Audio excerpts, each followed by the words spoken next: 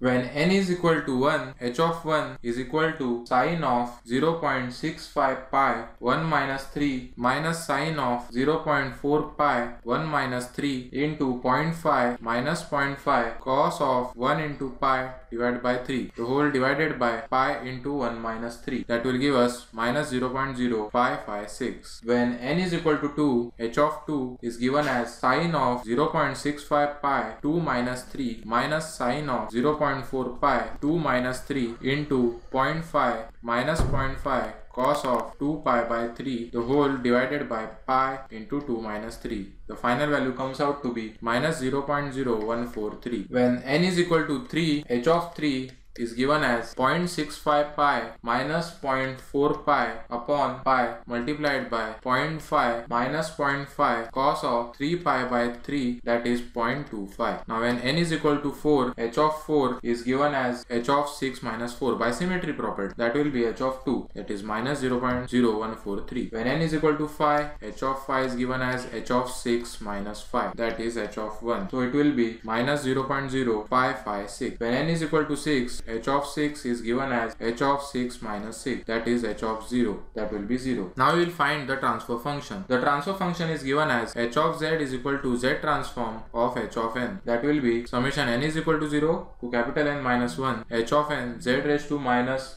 n that is summation n is equal to 0 to 6 that will be h of n z raised to minus n. So h of 0 plus h of 1 z raised to minus 1 plus h of 2 z raised to minus 2 plus h of 3 z raised to minus 3 plus h of 4 z raised to minus 4 and so on. Now using the symmetry property this term will be h of 2 this will be h of 1 and this will be h of 0 and we will take the common term. So finally we will get as h of 0 into 1 plus z raised to minus 6 plus h of 1 z raised to minus 1 z raised to minus 1 plus z raised to minus 5 plus h of 2 z raised to minus 2 plus z raised to minus 4 plus h of 3 z raised to minus 3. Now we'll substitute the terms that is 0 into 1 plus z raised to minus 6 plus minus 0.0556 z raised to minus 1 plus z raised to minus 5 minus 0.0143 z raised to minus 2 plus z raised to minus 4 plus 0.25 z raised to minus 3. So finally we get the transfer function as minus 0.0556 into z raised to minus 1 plus z raised to minus 5 minus 0.0143 z raised to minus 2 plus z raised to minus 4 plus 0.25